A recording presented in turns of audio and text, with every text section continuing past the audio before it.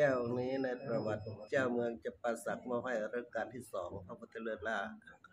พอสิ้นรัชกาลที่สองตกทอดมาถึงรัชกาลที่สามทีนี้เมื่อปี 2319เจ้านุเวียงจันทร์เกิดกบฏได้ยกทัพข้ามแม่น้ำโขงมาตีฝั่งไทยเรา ทีนี้แม่ทัพใหญ่พระราชสุภาวดีได้ยกทัพมาจากกรุงเทพ จะไปปราบเจ้านุวงเวียงจันทร์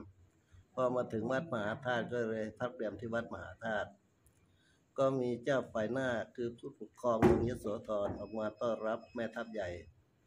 ก็มีหลวงพ่อเจ้าวาดพระครูรักคำกุ ท่านเก่งทางไสยศาสตร์โหราศาสตร์ท่านก็หาเลิกหายามให้ ก่อนจะออกรบทำศึกทำพิธีหักไม้ขมนางปฐมกรรมให้ ทีนี้เจ้าฝ่ายหน้าอาสาจะไปร่วมรบด้วยกับพระราชสุภาวดีพอได้เลิกได้ยามทำพิธีเสร็จก็ยกทัพไปสู้รบกับเจ้านุ่งเวียงจันทร์ รบไปจับจ้านุ่งเวียงจันได้ก็ประหารชีวิต แล้วก็ได้ชัยชนะพระราชสุภาวดีก็ยกทัพกลับ ก็ถึงกรุงเทพก็เข้าเฝ้ารายงานพระนางเก้า